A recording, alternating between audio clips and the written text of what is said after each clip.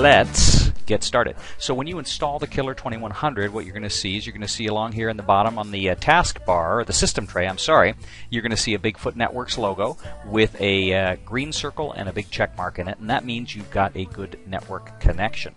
So if you click on it, what you're going to do is you're going to see the main interface for the Killer uh, Network Manager and the Killer 2100 hardware product. We're in the overview screen here right now, and many of you should be familiar with this. It is really a system snapshot. tells you about your processor, your GPU, and because we are a networking company here at Bigfoot Networks, we give you quite a lot of information about your network connection, the status, bytes sent and received, ICMP and UDP ping.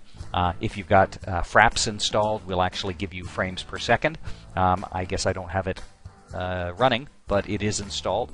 Uh, plus, we'll give you some other information as well. Again, a system snapshot just to let you see um, the, the basic components of your rig.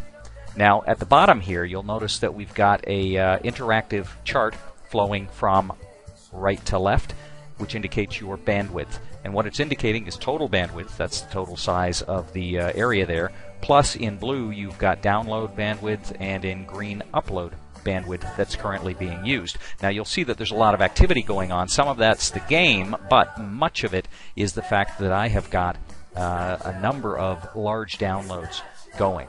And so that's what you're seeing reflected down here in the bottom area. So again, the overview of the Killer Network Manager is really just a system snapshot, let you know your rig is functioning properly, uh, let you know a few of the details of the components therein, as well as an overview of the bandwidth consumption currently in the system.